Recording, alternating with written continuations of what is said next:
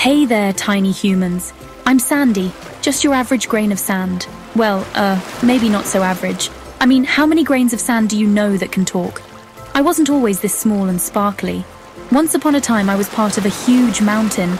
You should have seen me, I was rock solid, but over time, wind and rain broke me down. It was like nature's biggest game of tag. As I got tinier, I started my great adventure. I tumbled down rivers, bounced off rocks, and finally made it to the ocean.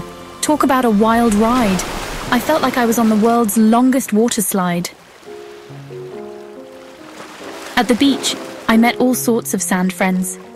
Some were white like me, others were black from volcanoes, and some were even pink from coral.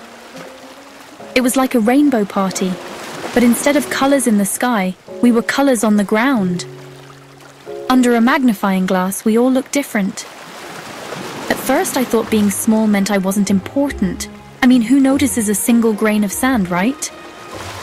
But then I saw how much animals and plants depend on us sand grains, and boy, did that change my mind. Crabs scuttle over us, using us as their dance floor. Turtles lay eggs in us, trusting us to keep their babies safe.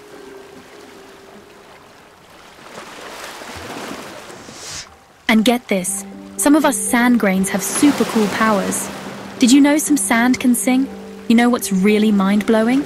There are more of us sand grains on Earth than there are stars in the entire Milky Way galaxy.